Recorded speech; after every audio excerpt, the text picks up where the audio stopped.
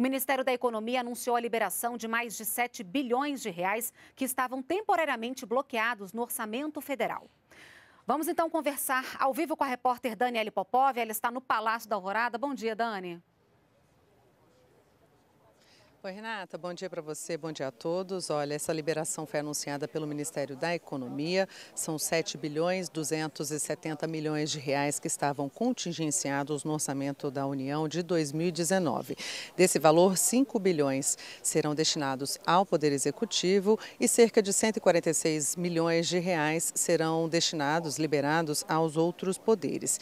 E essa liberação só foi possível graças à realização a do leilão de petróleo e gás na última semana e também da expectativa do leilão do pré-sal, que está agendado para o dia 6 de novembro. E logo cedo, aqui no Palácio do Alvorada, o presidente Jair Bolsonaro, junto com sua equipe de ministros, ele acompanhou a cerimônia de hasteamento da bandeira, a troca da bandeira aqui na frente do Palácio da Alvorada.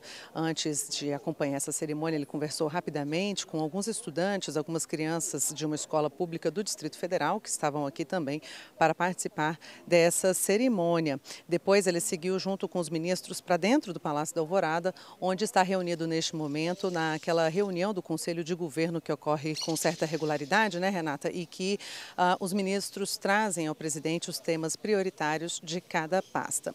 À tarde, a agenda do presidente Jair Bolsonaro continua no Palácio do Planalto, mas nós vamos saber os detalhes lá do Planalto com o repórter Glauco de Queiroz. Bom dia, Glauco.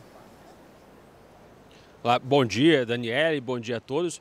Então, depois dessa agenda da manhã, o presidente Jair Bolsonaro participa à tarde, às duas horas da tarde, aqui no Palácio do Planalto, de um encontro com o presidente eh, da Endi Brasil, que é uma empresa que atua na geração e transmissão de energia. Devem participar desse encontro também os ministros da Economia, Paulo Guedes, e de Minas e Energia, Bento Albuquerque. Logo na sequência, o presidente Jair Bolsonaro se reúne com o ministro da Justiça e Segurança Pública, Sérgio Moro. E às cinco da tarde, também no Palácio do Planalto, está marcada aí uma, uma solenidade para a concessão do 13º salário do Bolsa Família. E neste mesmo evento está previsto também o anúncio é, da liberação de novos recursos para o Hospital Santo Antônio, que é gerido pela Associação Obras Sociais Irmanduce em Salvador. E por falar em Bolsa Família, o governo está enviando avisos para as famílias que receberam esse benefício indevidamente. Elas terão que devolver esse dinheiro. Mais detalhes aí na reportagem de Cleide Lopes.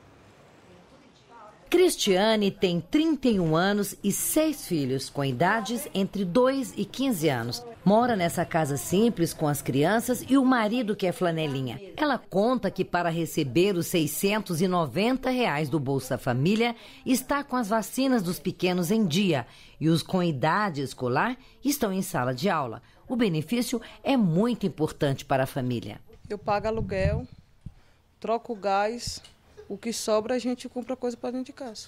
Para que o Bolsa Família chegue a mais pessoas que precisam, assim como a família de Cristiane, o governo fez um pente fino para detectar irregularidades nos benefícios. Agora está convocando mais de 5 mil beneficiários a devolver os recursos recebidos indevidamente.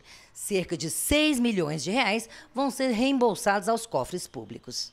Cartas com aviso de recebimento estão sendo enviadas às famílias identificadas pelo Ministério da Cidadania. Caso os recursos não sejam devolvidos, elas serão inscritas no cadastro de devedores. Hoje, mais de 13 milhões de famílias são atendidas pelo programa. Bolsa Família sempre teve fila, nós acabamos com a fila. Diminuímos o número de famílias é porque tinha muita gente ganhando sem precisar. Mas está lá, todo mundo que precisa está recebendo. O que nós precisamos é aumentar o número de pessoas empregadas. Nós precisamos aumentar o número de pessoas que têm renda própria.